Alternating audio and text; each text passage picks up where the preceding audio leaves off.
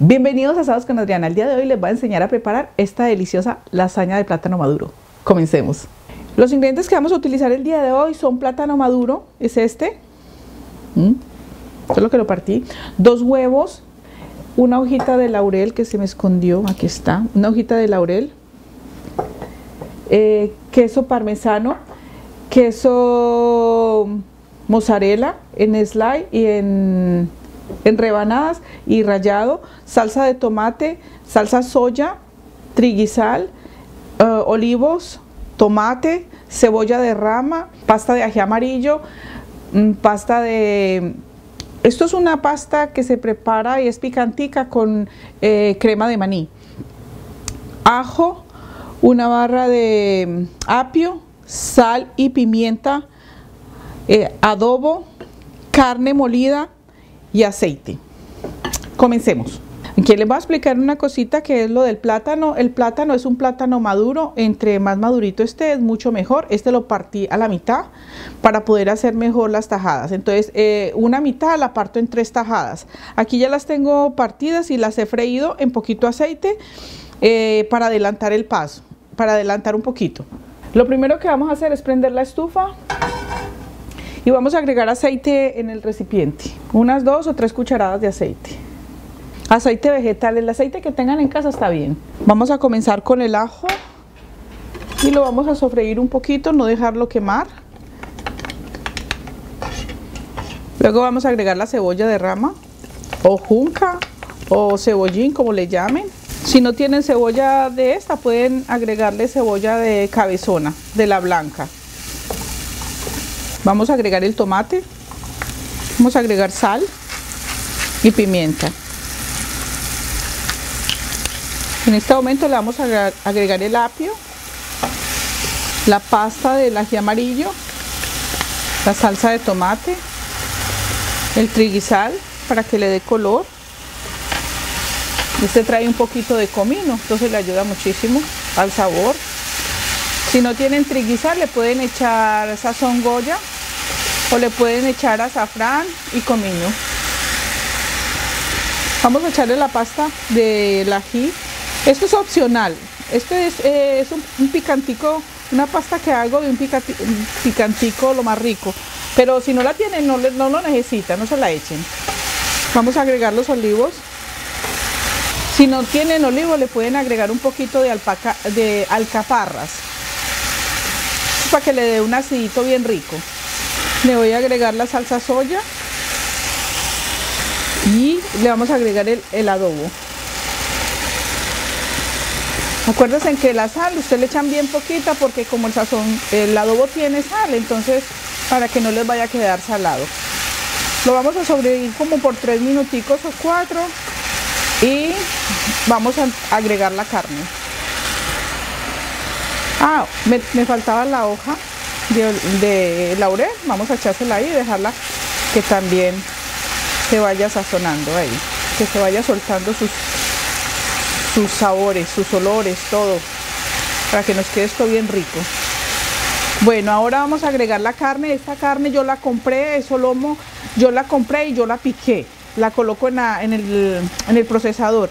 Pero si no la quieren hacer ese paso, pueden comprar la molida.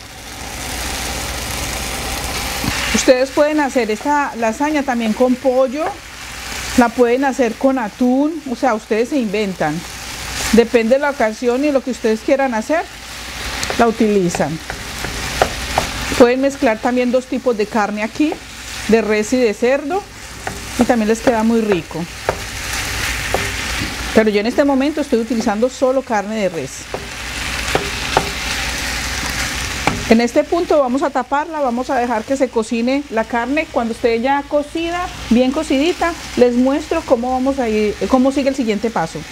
Miren cómo va estando, le voy a echar un poquitico más de adobo. Ustedes van probando y, eh, de acuerdo al gusto de ustedes, al sabor, entonces ustedes le agregan lo que les quede faltando, que más les guste, para que la carne les sepa bien rica. Yo en este momento lo que voy a hacer es o sea, yo lo que quiero es que me quede sequita. Entonces miren que todavía hay líquido.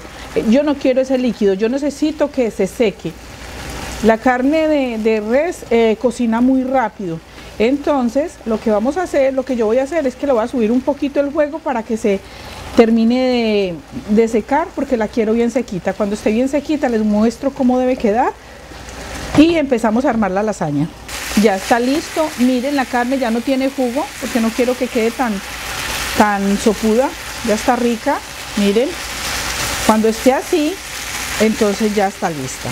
Vamos a apagarla, vamos a dejar que se enfríe un poquito porque luego ya vamos a empezar a armar. Ahora vamos a empezar a armar lo que es la lasaña. Lo primero que vamos a hacer es agreguémosle aceite a la refractaria. Vamos a agregarle un poquito de aceite. Que no se nos pegue. Y vamos a colocar las tajaditas como si fueran la, de pasta que uno normalmente hace. Coloquémosle las tajaditas así bien puestecitas. Después de colocarle la base, entonces lo que vamos a hacer es colocarle dos pedazos de queso. Y luego vamos a colocar lo que es la carne.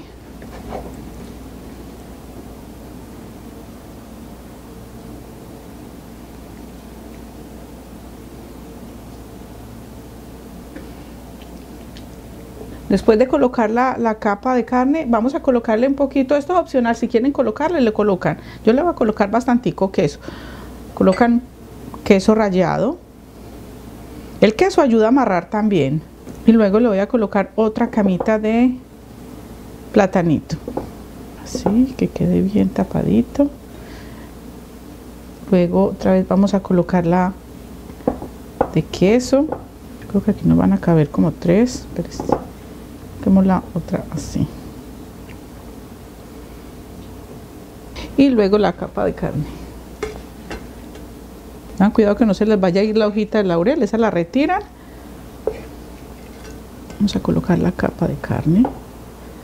Y continuamos con la otra capa de plátano. Ahora lo que vamos a hacer es eh, los huevos que tenemos entonces vamos a colocar acá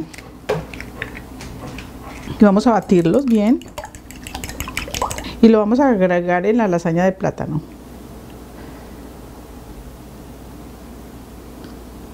Después de agregarle los huevos ahí, entonces vamos a echar lo que es el queso, vamos a colocarle queso. Creo que van a necesitar otro poquito más de queso. Y luego le vamos a echar parmesano para que dore bonito. Entonces eso sí se lo vamos a echar así. Bueno, ahora que acabamos, eh, ya está lista la lasaña, la vamos a llevar al horno a 350 grados Fahrenheit o unos 180 o 175 grados centígrados durante 15 a 20 minutos. De 15 a 20 minutos va a estar. Espero que les haya gustado el día de hoy, esta lasaña que preparamos. Espero que la preparen, la disfruten con su familia. Recuerden suscribirse, dar manita arriba, dejar abajo sus, sus comentarios, seguirme en todas las redes sociales, disfrutar en familia y los espero el próximo sábado. Bye.